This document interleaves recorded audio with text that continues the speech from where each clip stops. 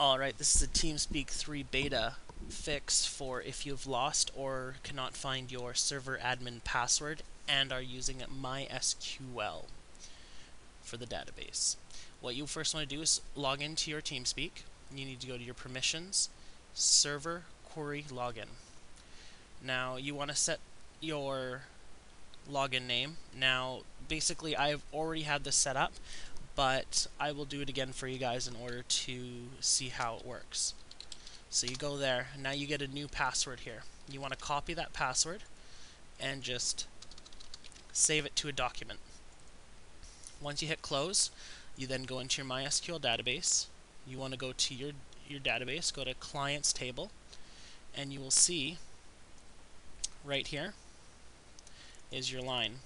Now what you want to do is you want to take this part here, which is what you just created or recreated if you already have it.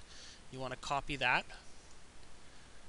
You want to edit your server admin line. Go to your client login password, paste in the new one, and hit go. After that's done, you've now updated it.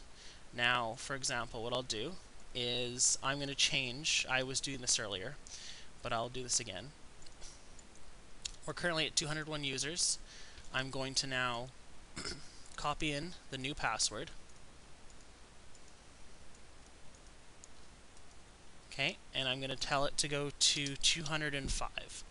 Tell it to run, and then see, no problems.